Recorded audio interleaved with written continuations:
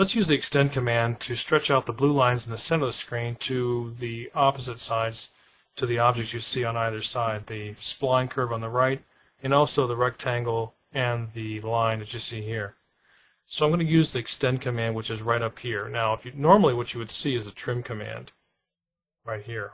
So select the down arrow, choose extend, and pick the boundary edge. Where do you want to take the objects to? Let's let's pick the spline on the right hand side first of all and enter.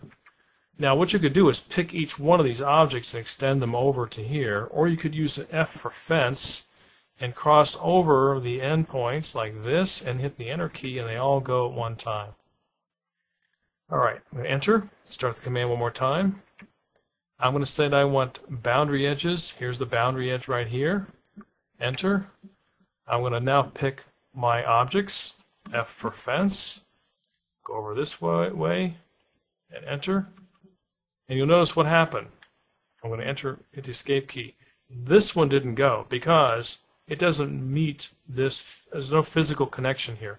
This would be out, go shoot past here in space. So what you have to tell AutoCAD is that there's an implied extension here for this to hit this line out in space. Let's do that again. Here's my boundary line. Enter. Now I'm going to key an E for edge. And notice it says extend. Normally it says no extend. I keyed in an E before this, and it's, it's still there.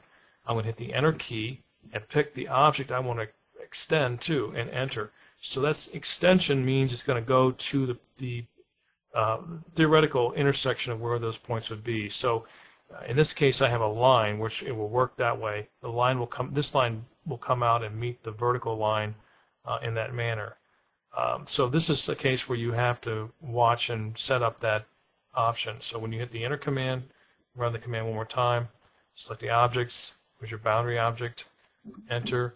Here's the one you want to hit E for edge when you want to switch it over from no extend to extend, and the line will then meet that other line.